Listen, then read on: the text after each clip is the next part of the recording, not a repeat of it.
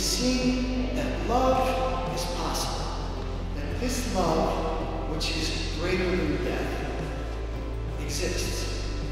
That that's what, that's what the church is about. That that's what Christianity is about. That's what Jesus Christ is about. It's beautiful and it is this tremendous gift that we get to participate in, that we get to be a part of. And for those of us who are married, to remember that this is what God has given to us.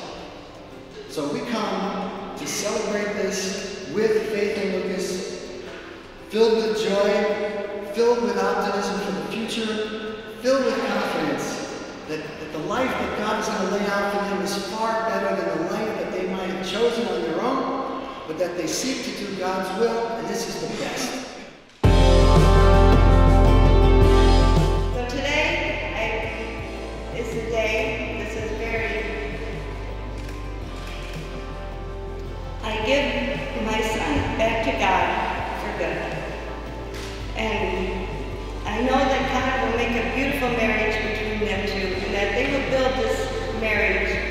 On the Lord.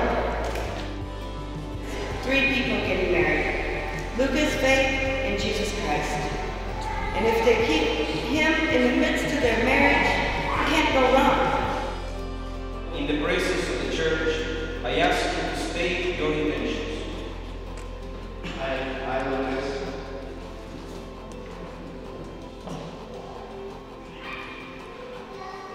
Lucas and Faith. Have you come here free and without reservation to give yourself to each other in marriage? Since it is your intention to enter into marriage, join your right hands and declare your consent before God and His church. I, take you, Faith, to be my wife.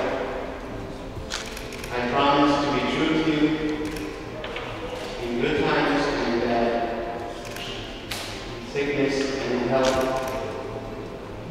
I will love you and honor you all the days of my life.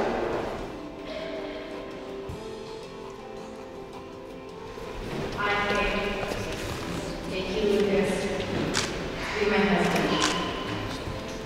I promise to to you,